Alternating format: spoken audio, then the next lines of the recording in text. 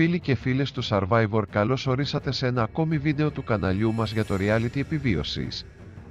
Βλέπετε Free Channel και σε αυτό το βίντεο θα σας δώσουμε μια είδηση της τελευταίας στιγμής, η οποία όμως ήδη κάνει το γύρο του διαδικτύου και έχει προκαλέσει πανικό και έντονες συζητήσεις.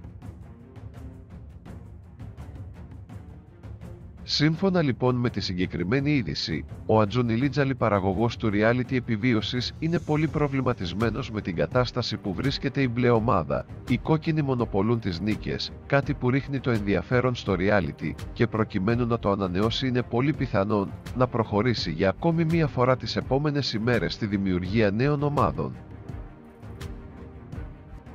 Ένα αναμονή λοιπόν ραγδαίων εξελίξεων στο Survivor, το οποίο όντως κατά καιρούς αποδεικνύει ότι είναι το παιχνίδι των ανατροπών.